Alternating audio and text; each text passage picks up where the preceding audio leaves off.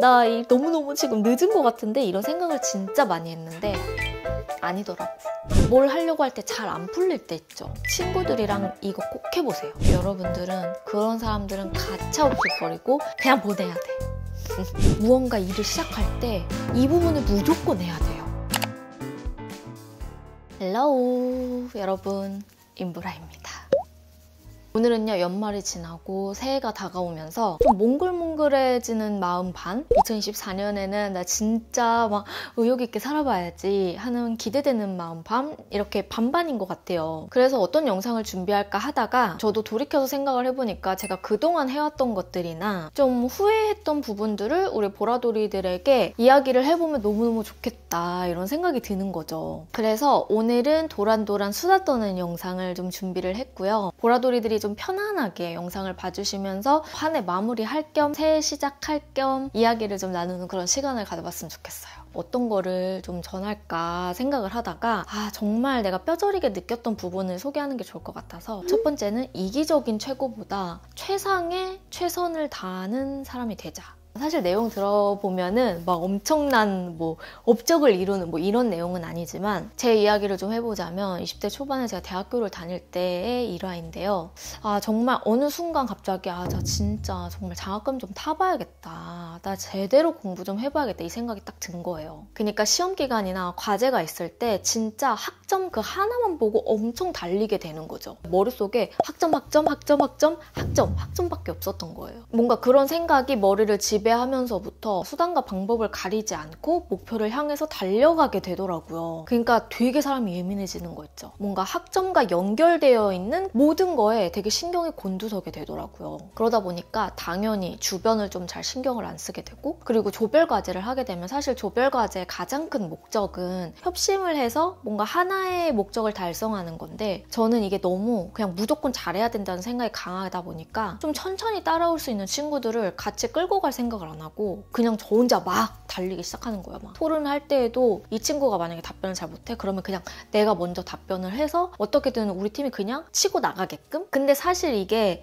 어, 욕심이 있으면 그럴 수 있는 거 아니야? 싶지만 목표를 향해서 달려갈 때는 그 구역에 완전 미친 사람처럼 열중해야 되는 것도 사실이긴 한데 너무 다른 사람을 생각하지 않고 이기적으로 행동을 하다 보니까 그 이기적인 마음이 나를 지배하게 되더라고요. 내가 이렇게 행동하는 이 vibe가 하루만 나오는 게 아니라 매일매일 쌓일 거 아니에요. 그럼 그 행동 자체가 결국엔 내가 되는 거지. 제가 그 부분을 깨닫는 순간 너무 창피한 거예요, 내 자신이. 뭔가 수단과 방법을 가리지 않 않으면서 어떻게 되든 최고만 되기를 원했구나. 약간 이런 생각이 들면서 내 자신이 엄청 엄청 창피해지더라고요. 이걸 딱 깨닫게 된 이후부터는 아, 너무 이기적인 최고가 되려고 하지 말고 최상의 최선을 다해서 그냥 그 상황상을 열심히 하는 사람만 되자. 약간 이렇게 바뀌게 되더라고요. 이걸로 인해서 더 많은 사람을 얻게 되고 뭔가 남은 절대 모르겠지 하면서 나를 속이는 행동도 되게 많이 안 하게 되더라고요. 뭔가 이제 막 목표를 설정하게 되는 보라돌이들이 있다면 이 부분들도 진짜 간과하지 말고 꼭 같이 해서 나갔으면 좋겠어요. 자, 그리고 두 번째는 제가 정말 정말 잘했다 생각되는 일이에요. 날 위한 투자 시간을 아까워하지 말고 늦었다고 생각하면 안 돼.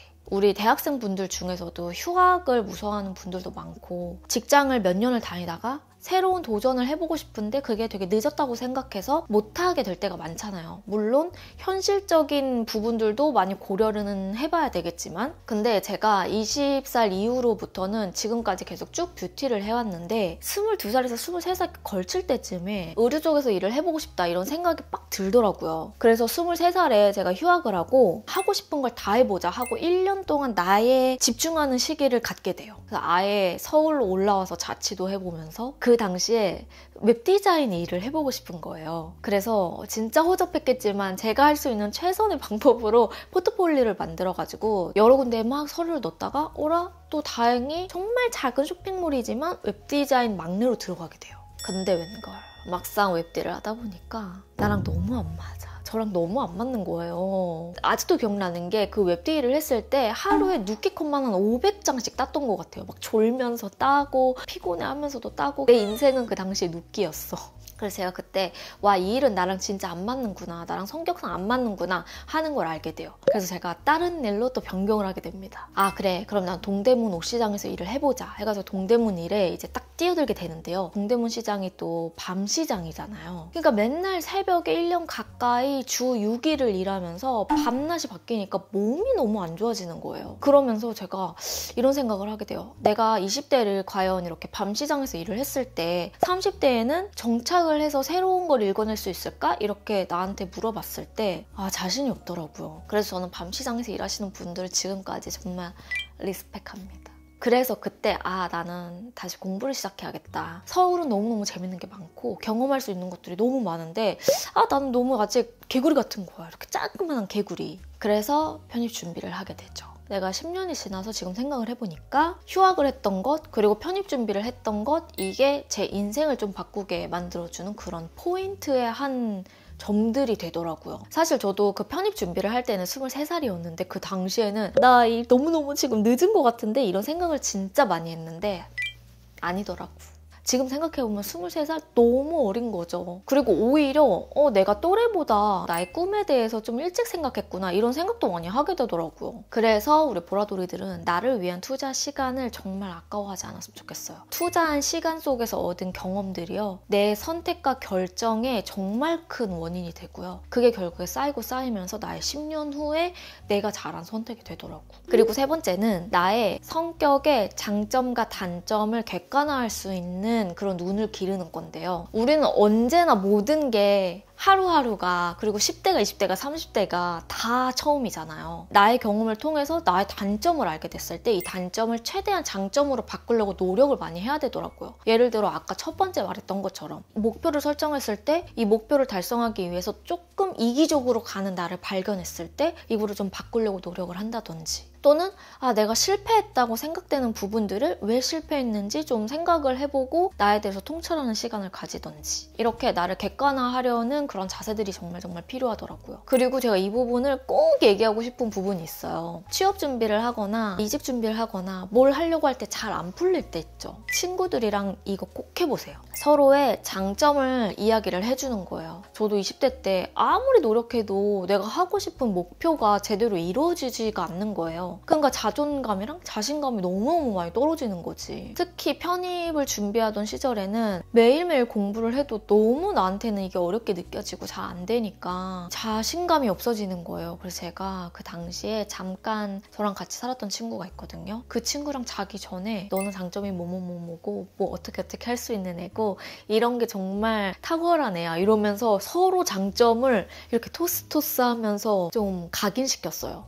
그러면 자존감과 자신감도 올라가고 아 그래 나 이런 쪽으로는 되게 장점이 많은 사람이었어 이러면서 뭔가 부스팅 역할을 해주더라고요. 그래서 보라돌이들 중에서 잘 안 된다 취업 준비하는데 힘들다 이직 준비하는데 쉽지 않다 이런 분들 있죠. 진짜 친구랑 같이 장점 배틀 한번 해보세요. 그러면 내가 버틸 수 있는 힘이 좀 더 생기더라고요. 자, 그리고 다음은 내가 무슨 일을 하던지 지구력을 갖기예요. 저는 유튜브를 시작할 때 딱 마음가짐이 나 진짜 유튜브 딱 10년을 해본다. 10년을 했을 때 이 업계의 사람들이 내 얼굴은 모르더라도 인보라 하면 어? 어, 나 그 사람 이름은 들어본 것 같은데? 라고만 들어도 성공이다. 약간 이런 목표를 가지고 시작을 했어요. 근데 이제 또 2024년이면 제가 7년 차가 되거든요. 그리고 정말 많은 보라돌이들과 함께 이 채널을 또 하게 됐죠. 제가 편입 준비를 하거나 유튜브를 시작했을 때 그리고 어떤 프로젝트를 막 했을 때에도 항상 느끼는 부분이 있는데 이 정도면 되겠지? 라는 생각으로 나를 타협할 하려고 할 때가 많잖아요. 근데 이 정도면 되겠지 뭐 하고 마무리하는 순간 정말 딱 그 정도까지만 하더라고요. 제가 이런 경험이 있었어요. 옛날에 편입 준비를 할 때 여러 학교들을 썼지만 그 중에 제가 편입한 학교에 처음 그 입학 공지가 뜬 거예요. 근데 처음 편입이 열린 거다 보니까 아무런 정보가 없어요. 면접 정보도 없고 뭐 포트폴리오 정보도 없고 아무런 정보가 없고 뭔가 가질 수 있는 정보력이 아무것도 없으니까 그냥 아 그래 모르겠다. 내가 떨어지더라도 미련 같지 않을 정도로 최선을 다하자 이 생각이 들더라고요. 그래서 1차가 영어였고 2차가 포트폴리오 제출이었는데 포트폴리오 제출하면서 이제 교수님 면접까지 같이 보는 그런 과정이었어요. 그래서 제가 그 포트폴리오를 막 준비를 하면서 그래 남들보다는 조금 다르게 해보자. 아무런 규격이 정해져 있지 않으니까 그냥 A4 용지에다 이렇게 하는 것보다 4절지, 8절지에 그냥 최대한 준비할 수 있는 걸 다 해보자. 그 자료들을 껴넣는 파일도 제일 좋은 파일로 준비를 하자. 이러면서 부수적으로 하나하나씩 정말 다 준비를 하게 돼요. 그러면서 이제 아 그만할까? 놓으려고 하는 시점에도 아 조금만 더 조금만 더 하면서 더 하게 되고 그렇게 준비를 하면서 딱 2차 면접을 하러 갔는데 제 포트폴리오가 제일 큰 거예요. 그러다 보니까 교수님들 눈에는 그 포트폴리오가 가장 눈에 띄었을 것 같아요. 제 생각에. 지금 지나고 막 생각을 해보니까. 그래서 그 부분이 저한테는 되게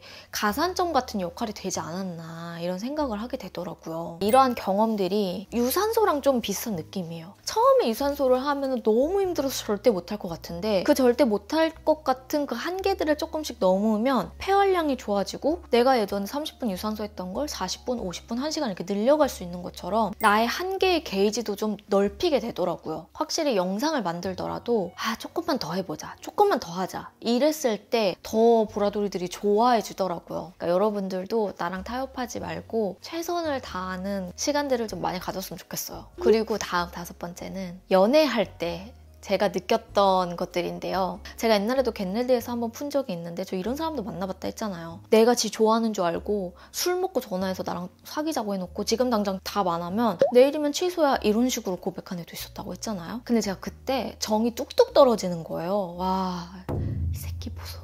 약간 이런 느낌 있죠. 그래, 오케이. 야, 너 그냥 가고 내가 지금부터 2년 뒤에 너를 길 가다가 우연히 만나봤을 때 내가 얼마나 멋진 사람인지 내가 증명하겠어. 막 이런 오기가 생기더라고요. 물론 충분히 슬퍼하고 힘들어하는 감정을 느껴야 하는 이별도 있겠지만 이렇게 진짜 막 똥차가 왔을 때 그럴 때 거기에 너무 허우적거리지 않고 거기에 시간 낭비를 하지 않았으면 좋겠어요. 오히려 더 그냥 내가 더 괜찮은 사람이 돼서 이런 사람들이 나한테 접근을 할 수 없게끔 만들어주는 게 내가 더 성공할 수 있는 내가 더 업그레이드 될 수 있는 그런 발판이 되더라고요. 그래서 그런 사람한테 오히려 더 매달리고 계속 이어가려고 하다 보면 내 인생이 꼬이게 되니까 여러분들은 그런 사람들은 가차없이 버리고 나를 더 업그레이드 하려고 노력하자. 그러니까 똥 차봤을 땐 그냥 보내야 돼.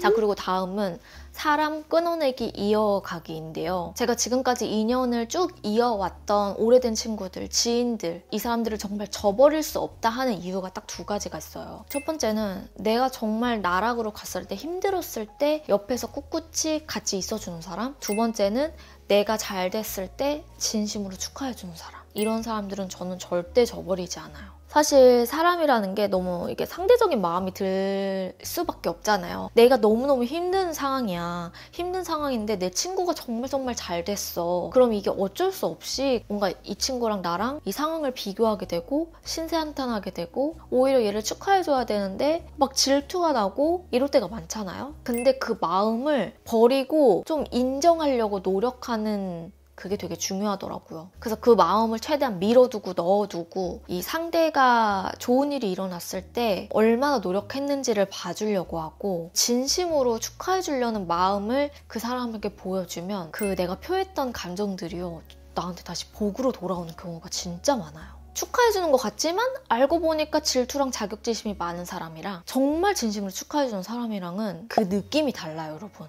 여러분들도 아마 아실 거예요. 그래서 이런 말이 있더라고요. 연인이나 뭔가 이성에 있어서는 슬플 때 옆에 있어주는 사람이 진짜고 동성 사이에서는 진짜 기쁜 일이 있을 때 진심으로 축하해주면서 옆에 남아있는 사람이 또 진짜다. 제가 어디선가 들었던 것 같은데 맞는 것 같지 않아요? 그래서 내가 잘 될 때 여러분들의 노력을 알아주는 친구는 절대 저버리지 말고 내가 어떤 상황이 왔든 그 친구의 옆도 항상 지켜준다 생각하고 인연을 잘 이어갔으면 좋겠어요. 그리고 다음은 아, 이 사람은 좀 성공한 것 같아. 혹은 롤모델이라고 생각한 사람들 있잖아요. 그 사람의 현재 잘 풀린 모습을 보지 말고요. 어떤 단계를 밟았는지 보는 눈을 키우는 게 너무너무 중요한 것 같아요. 저도 유튜브를 한 3년 동안은 잘 풀리는 그런 채널은 아니었었거든요. 물론 그 안에서도 나를 좋아해 주는 사람들은 너무 많았지. 그건 진짜 나에게는 큰 행운이었지만 내가 생각한 목표에 다다르기가 너무너무 힘들었었어요. 영상을 만들어도 잘 안 터지고 잘 안 되고 하다 보니까 자꾸 남 탓, 도구 탓, 장비 탓 이렇게 하게 되는 거예요. 아니 내가 생각한 이 롤모델인 이 사람은 뭘 해도 이렇게 잘 터지고 잘 되는데 왜 나는 이렇게 잘 안 되지? 이런 생각을 할 무렵에 그 사람의 가장 오래된 영상을 보게 됐는데 웬걸 나랑 너무 비슷한 거야. 이 형광등 켜놓고 하는 이 상황과 막 비싼 장비가 아니었던 이 상황이 너무 비슷한 거예요. 그래서 그때 딱 제가 든 생각. 이 사람도 처음부터 이렇게 완벽한 환경에서 한 게 아니구나. 처음에 이 사람도 시작했을 때는 진짜 나랑 비슷했구나. 이런 생각이 그냥 탁 들면서 머리에 갑자기 종이 엥, 엥, 친 것 같은 느낌이 나더라고요. 그 뒤로는 뭔가 잘 된 사람? 내가 닮고 싶은 사람을 보면요. 어떤 식으로 노력했을까? 이런 거를 되게 많이 생각하 게 되더라고요. 그래서 10대, 20대 분들이라면 내가 무언가 롤모델을 삼았을 때 그 사람의 화려함보다는 그 노력에서 빚어지는 지구력을 보는 연습을 하면 정말 정말 도움이 많이 될 거예요.